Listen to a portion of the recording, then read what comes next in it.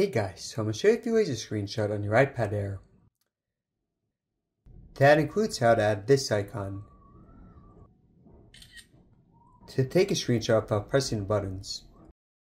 The first way is with buttons, so for the older iPads with the home button, you would just press the power button and the home button at the same time.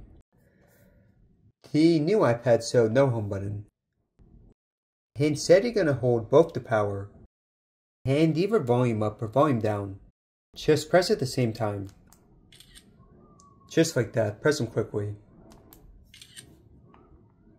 The second way you can ask Siri or Apple Intelligence. Take a screenshot. From here, if you want, you can go into the screenshot. You can crop and draw on a bunch of stuff.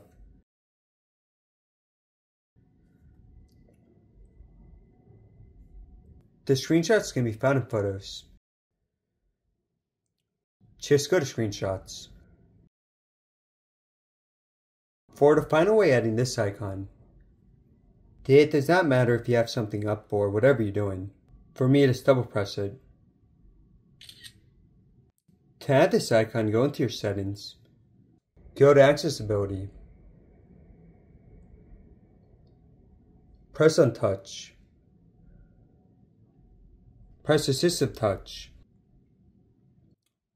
Make sure this is turned on. You can do either single, double, or long press. For mine doing double,